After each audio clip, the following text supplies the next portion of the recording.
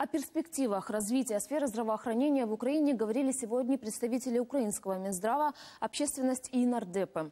Запуск программы «Доступное лекарство» наконец изменит печальную тенденцию в Украине на позитивную, заявил премьер Владимир Гройсман. Глава правительства отметил, необходимо инвестировать в конкретные услуги и пациента, а не в стены и кровати.